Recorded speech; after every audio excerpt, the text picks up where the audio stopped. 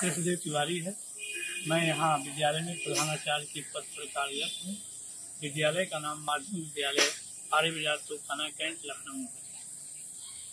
एक वृक्ष सौ पुत्रों के बराबर होता है। सौ पुत्र एक समाज, एक राष्ट्र को जो कुछ ऊर्जा दे सकते हैं, वह एक वृक्ष जो है, उतनी ऊर्जा, उतनी संपदा, उतना ऑक्सीजन, उतना प्रत्यक्ष, अप्रत्यक्ष में लाभ दे सकता है।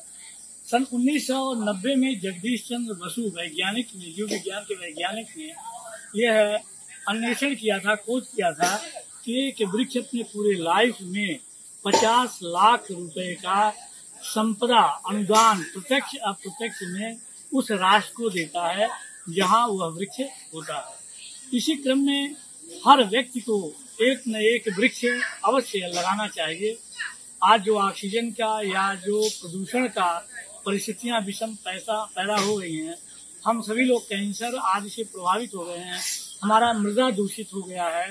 हमारा पानी दूषित हो गया है। वर्षा मौसम का चक्र जो परिवर्तित हो गया है, वो इन्हीं सब कारणों से है। अगर सभी व्यक्ति एक वृक्ष लगाने का प्रयत्न करते हैं, कोशिश करते हैं और लगाते हैं तो पूरा पर्यावरण का संतुलन यथावत जैसा कि आज के सौ वर्ष पहले था, दो सौ वर्ष पहले था वह स्थितियाँ पुनः आ जाएँगी। हमारी प्राकृतिक ऊर्जा, हमारे मनुष्य की जो प्राकृतिक ऊर्जा होती है, जितनी होती है वो क्षमता हमारी पुनः आ जाएगी। तो छावनी क्षेत्र में तो एक वृक्ष काटने का तब आदेश होता है जबकि दो वृक्ष लगा दिया जाता है। कोई भी वृक्ष अगर कहीं जन समाज का कष्ट पहुंचाता है तो जन समाज अप्लीकेशन देता है।